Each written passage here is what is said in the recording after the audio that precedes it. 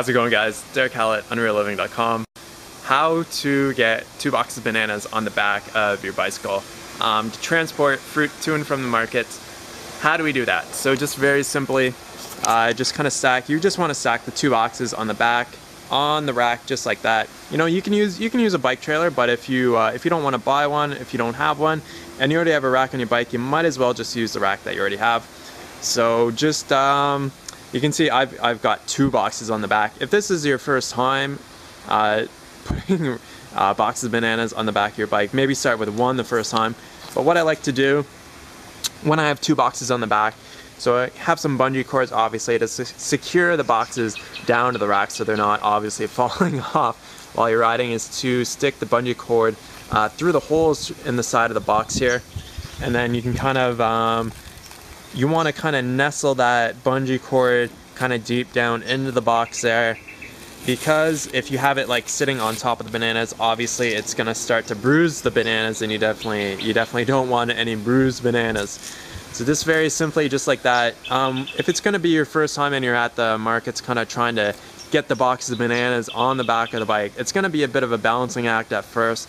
Um, any do I have any really good tips for that? I mean just try it out figure it out. You might, maybe they'll fall, but I've never had any boxes fall on me doing it like this method.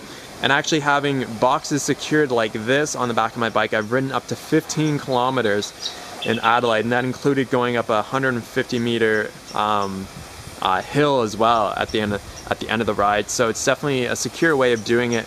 Um, if you have panniers, and uh, what you want to do, if you have panniers as well to carry other uh, bits of food home with you, is to um, is to put the panniers on first uh, before you put the boxes of bananas on. So that's another little tip when you're at the markets. Get those panniers on first and then stack the box of bananas on top. Something else to keep in mind is obviously there's going to be screws that hold the rack down. Just make sure that they're nice and snug, nice and tight and this is how we do it. Just very just very simple just very simple way of um, just transporting fruit to and from your place.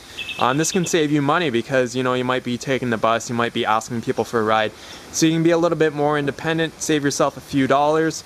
Something else to keep in mind is since there's going to be so much more extra weight on the bike here um, is to make sure that your rear tire is pumped up to the correct PSI all the way up to the max PSI you really want it pumped up that as high as it can basically go because you do not want um, to be riding on the rim uh, when you're carrying um, any fruit or when you're riding your bike. You don't want to be riding on the rim because that basically uh, really kind of mucks up the rim a little bit.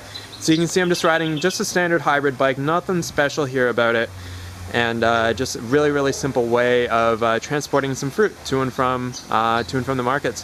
Thanks so much for watching, guys. If you have any questions or comments uh, regarding uh, this method of uh, transporting fruit, uh, definitely leave them in the comment box below. Thanks for watching guys. Peace out.